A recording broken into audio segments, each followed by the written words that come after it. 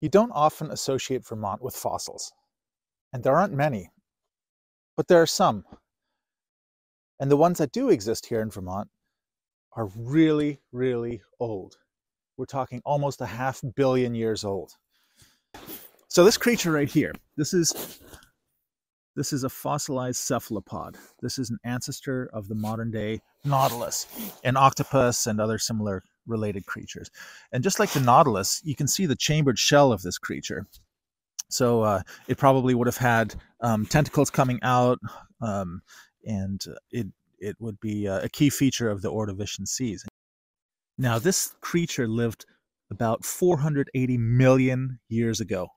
To put that into context, it would be 250 more million years until the first dinosaurs started showing up in the Triassic. That was about 230 million years ago. It's only been 65 million years, or about 66 million years, actually, um, since the last dinosaurs died out with a meteorite impact.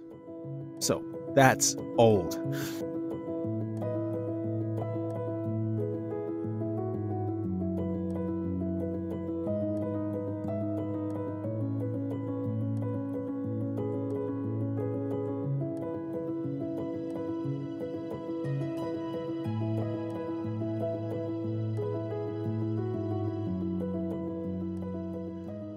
Let me introduce you to the Goodsell Ridge Preserve in Isle La Motte, Vermont.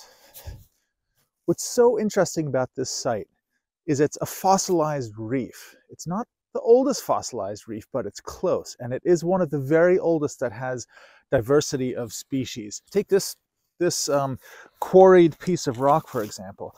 This shows the cross-section of a spongy reef-building organism called a stromatoporoid. So this is one of the first reef builders about almost half a billion years ago. In the, it's a lot of fun to look for fossils in this area.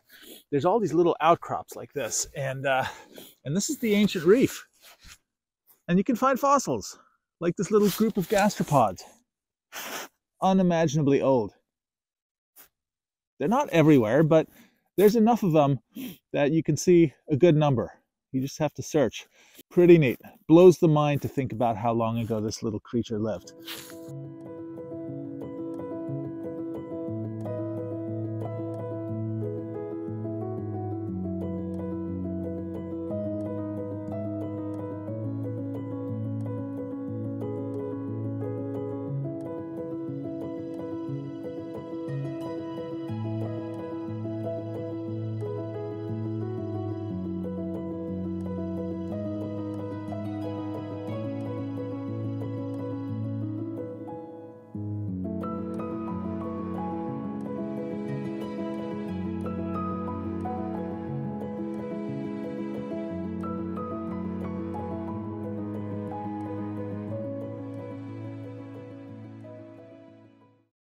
Right in the steps of this barn.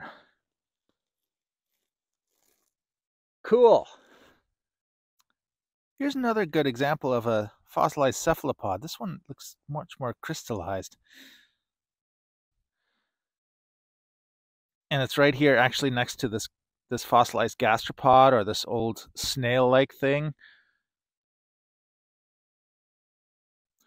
There's the one we just looked at, and then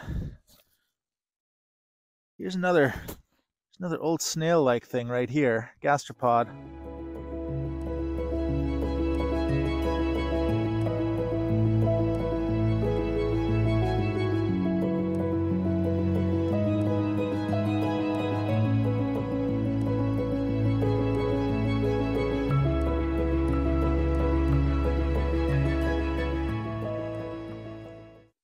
A little bit farther south on Isle La Motte is the Fisk Quarry. Now this place is interesting because it's the source of uh, a lot of the stone used for some famous structures like the Brooklyn Bridge and some, um, some buildings in uh, New York and Washington. Um, but it's also interesting because it represents the lowest layer of, of this ancient reef here in Isle La Motte. Um, it's, it's older than what I just showed you because geologists realized that the, the bottommost layers um, and the topmost layers are all exposed at different locations because all of the layers are tilted upward. So you can see actually older sediments that contain um, less diversity of fossils as what I just showed you in uh, in the Goodsell Preserve. And this is primarily made up of the uh, the ancient reef builders, those stromatoporoids, which you can see beautifully in cross section, um, where they carved away at the rock in the quarrying activity. Um, it, it's no longer active, but um, but in the past.